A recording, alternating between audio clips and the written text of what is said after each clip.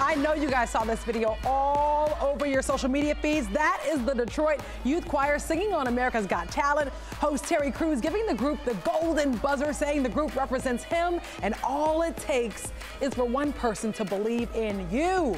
And that's what this director is to these kids. Look at them go. so much promise in that one video. Absolutely. We saw a small clip during Wake Up with Chesley, but wow, this clip right here, that's that's electric. Good. I want to see more. They had to get the golden buzzer, so they're going to the live show. Advance right to it. Yes, Yeah. indeed. They were good last night. I saw it before I went to bed. It's like, you uh-huh. know, you get the video, you see a choir, and you're like, yeah. and Yeah. they just like, you know, started low and it just went Yeah. crescendoed on you. You oh, like, "Hey." It's nice, very nice. Yeah.